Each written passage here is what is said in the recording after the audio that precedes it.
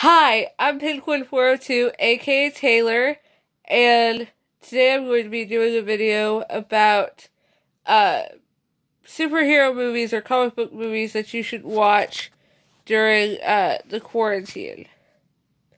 And uh, I just want to say before I begin, hold on, my hair right there. Uh, before I begin, I'd like to apologize for not having any videos up in over a year. I've been like really busy with work and life and stuff.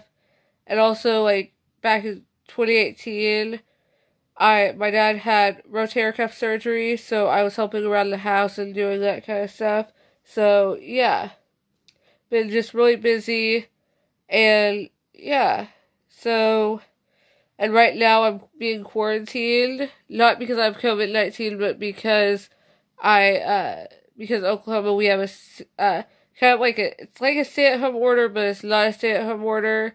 It's just like a safer at home order. So if you're one of the vulnerable populations, you, sh- you should just stay at home.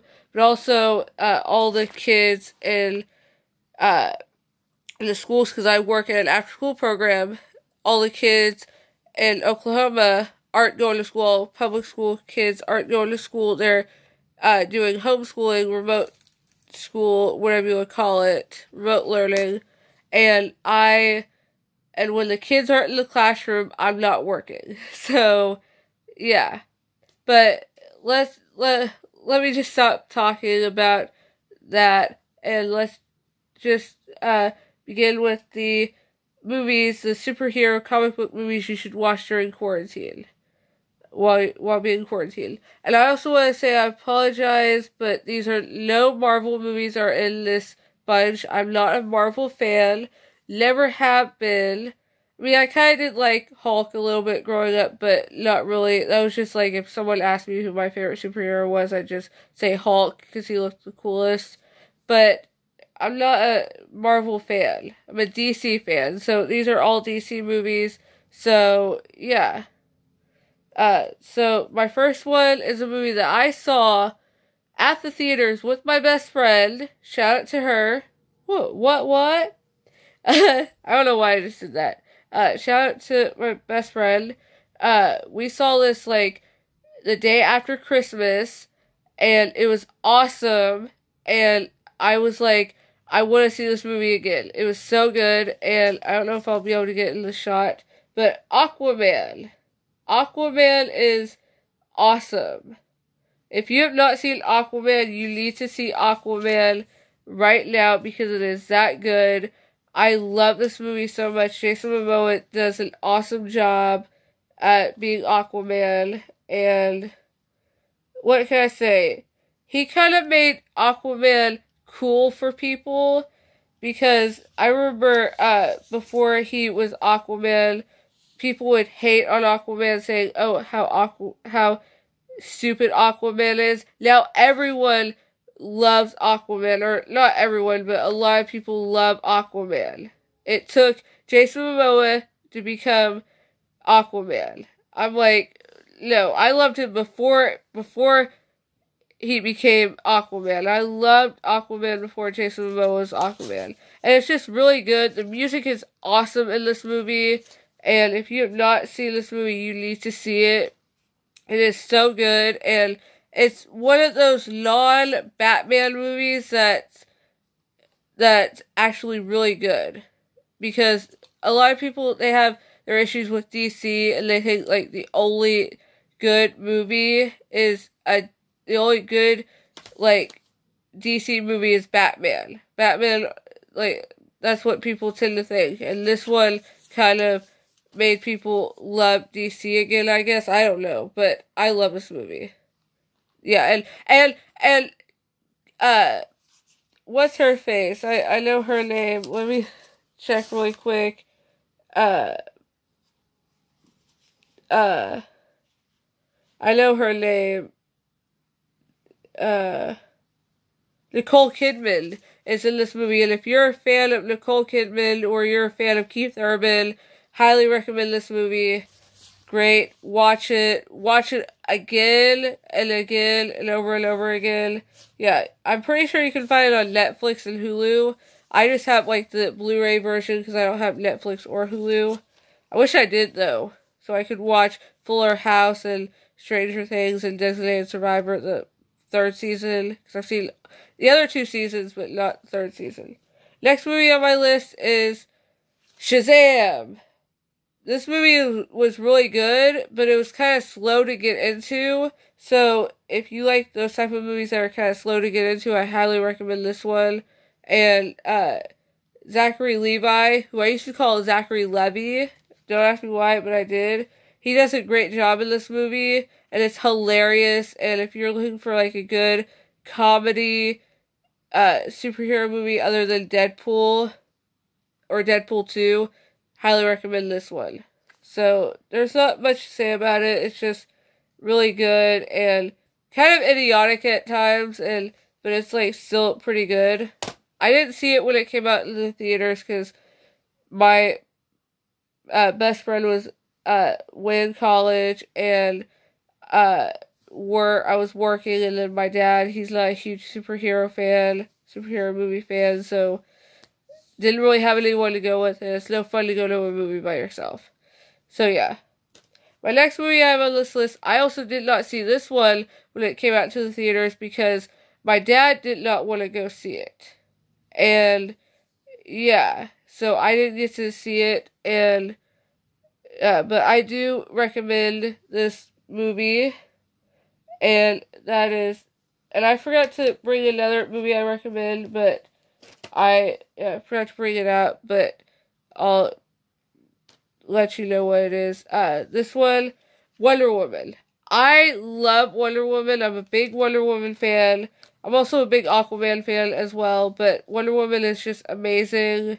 She's she's just this super awesome superhero, one of the very first female superheroes, and she's just a like a awesome Amazonian warrior princess.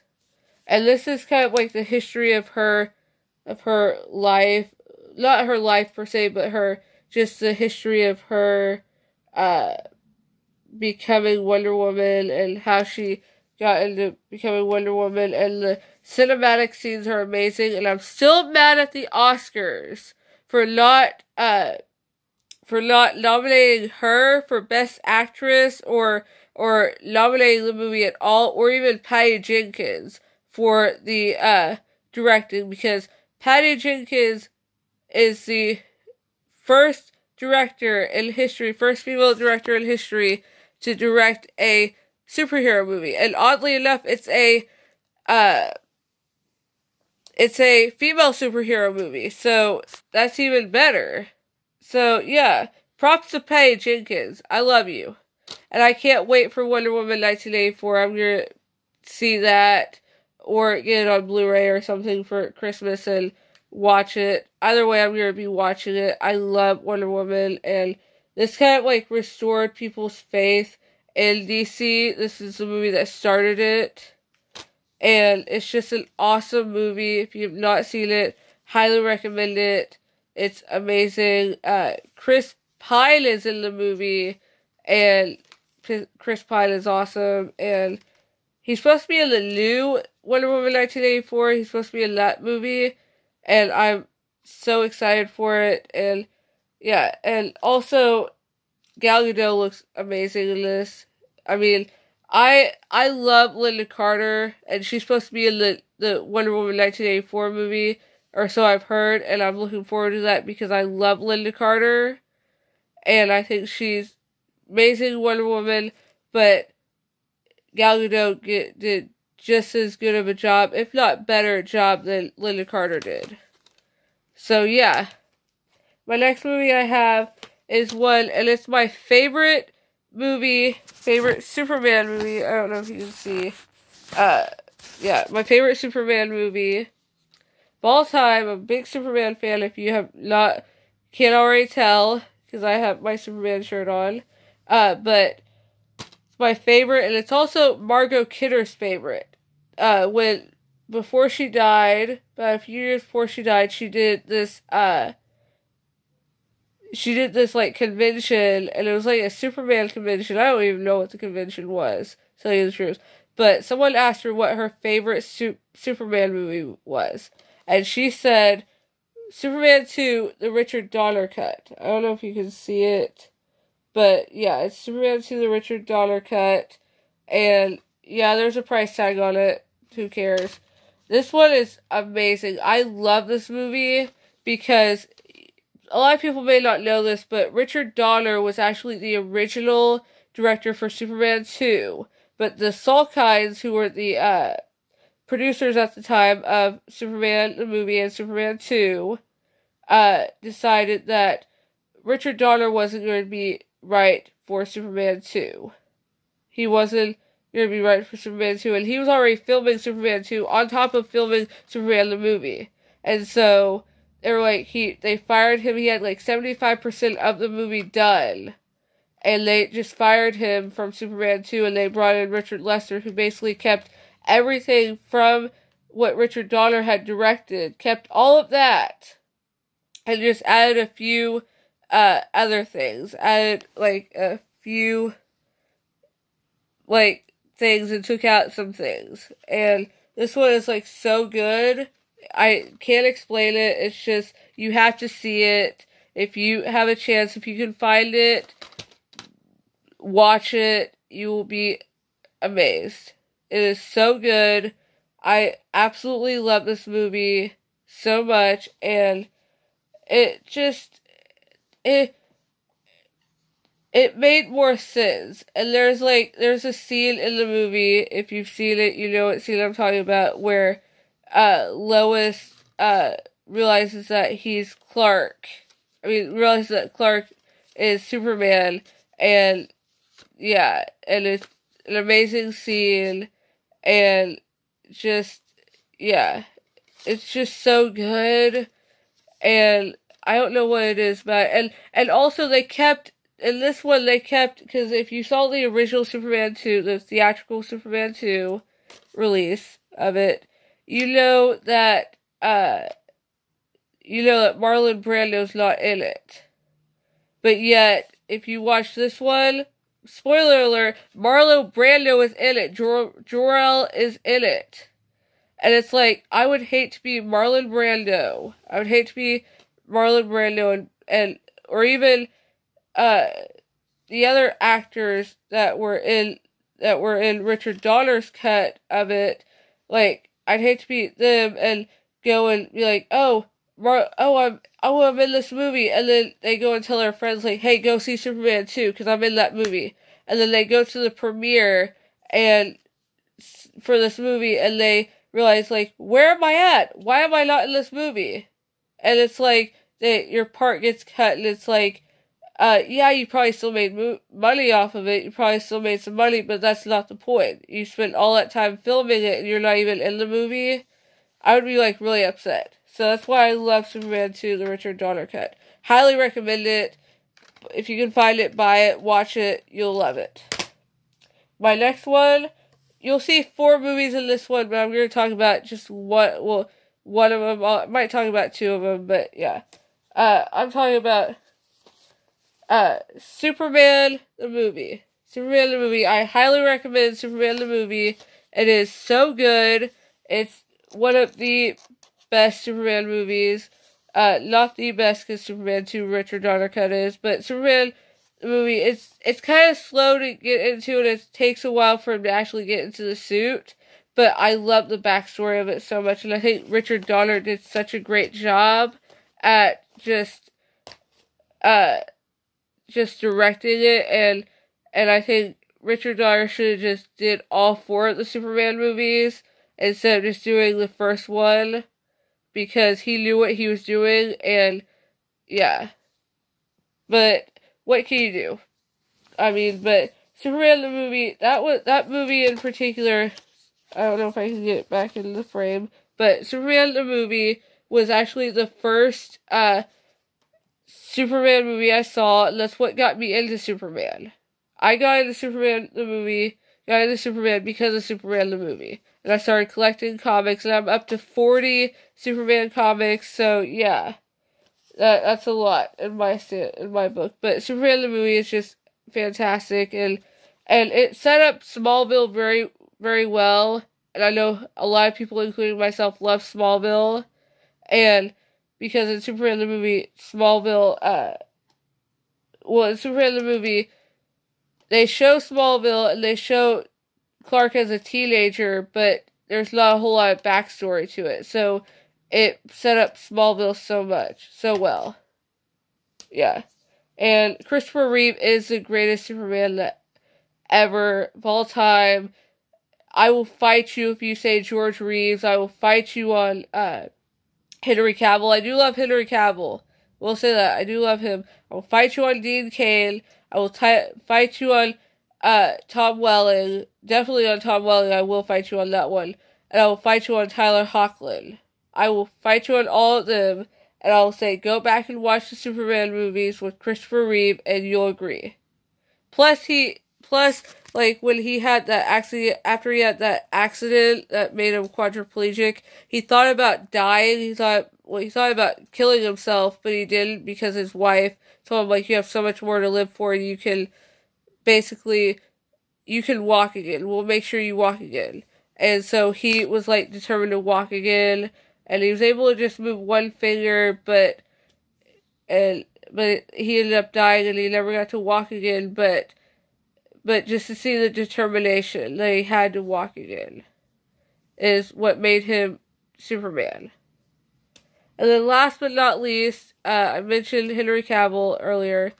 Well, actually, I have another one after this one, but I mentioned Henry Cavill.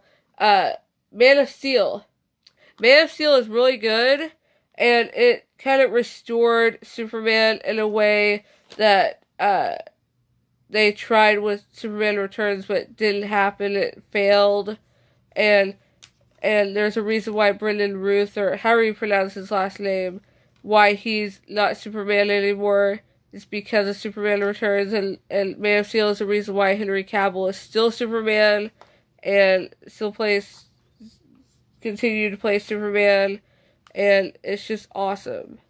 I have no other words to say Man of Steel. And there's actually a scene in Man of Steel where where uh, Superman's flying up, Henry Cavill as Superman is flying up in the air, and you can see his face change from Christopher Reeve to uh, Henry Cavill, and it was just kind of like, like, even though Christopher Reeve was gone by this point, it was kind of Christopher Reeve giving his blessing. Like they were like, like the director saying like, "Hey, uh, Christopher Reeve would give his blessing on this, and he he is now passing on the torch." It was kind of like passing the torch, and people have made so many videos about the passing of the torch, uh, from Christopher Reeve to Henry Cavill. So I think that's pretty awesome.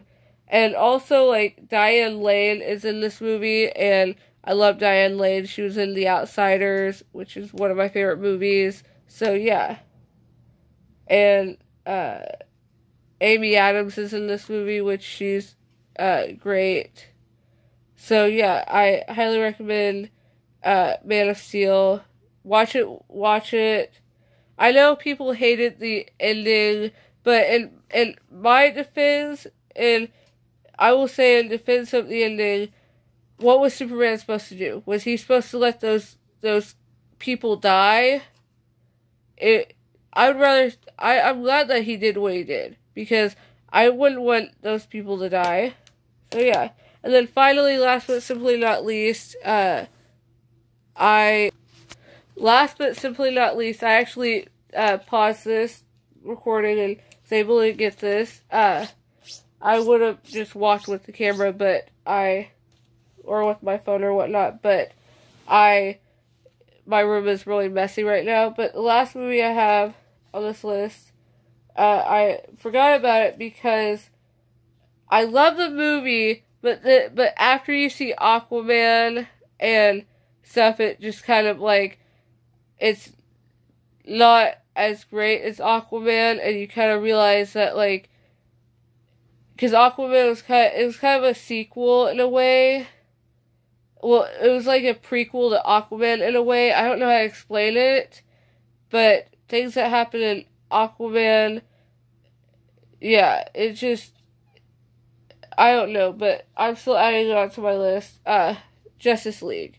I know there are some people out there that did not like Justice League. I know people had their their differences and comments about Henry Cavill and the CGI mustache like the mustache CGI removal of the mustache. But what what were they supposed to do? Uh, Henry Cavill is working on Mission Impossible Fallout, which I love. I love that movie. I love Mission Impossible movies. But what was he supposed to do? What was he supposed to do? What he couldn't shave the mustache because Paramount would not let him shave it. So what was he supposed to do? And yeah. So, in all fairness, yeah. And I, I love the comedy in this one, and I love, what I love the most is how, is they did it with, uh, with, uh, uh, I think they did it with Batman v Superman Dawn of Justice. I'm not for sure. I know they did it with, with Justice League. They did Justice League. I think they did Wonder Woman. Uh, but I know they did Justice League. They left it open for a sequel they left it open for a sequel as far as like the ending because they the ending is fantastic. They because I love when movies like you watch the entire movie and you go through the entire credits and you get this special ending at the end of the credits and I love when they do that.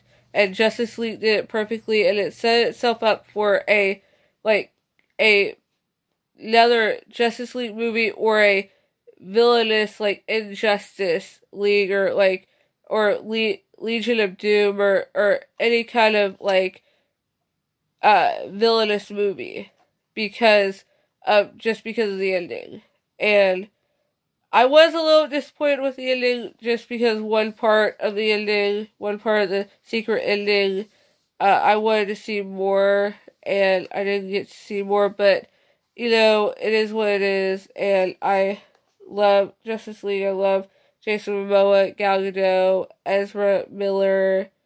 Uh, I can't remember the other dude's name. Ray Fisher, uh, Diane Lane, Henry Cavill, Gal Gadot, Amy Adams. I love all these people in here.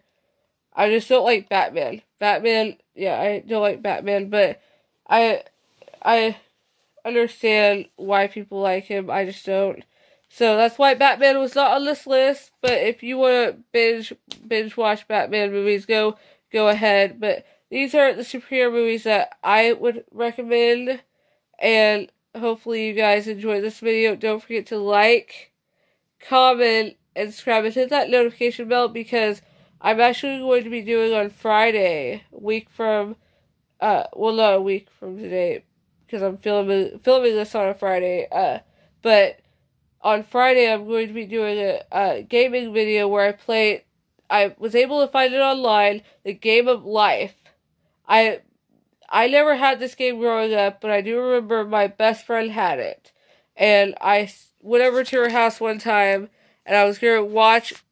I was gonna play it with her, but her mom said no because my mom was about to show up, and they wanted to find like a really quick game for us to play. So uh, we didn't get to play it. So I was like, I'm gonna look for it online, see if like you can play like an online version because I've seen Monopoly online, I've seen Battleship online, I found it online, and I'm gonna play it because I played it a few times. I'm gonna play it for you, and hopefully you guys enjoy it. So don't forget to like, comment, and subscribe, and hit that notification bell so you don't miss a single upload, stream, and hopefully I'm able to continue with this. Bye!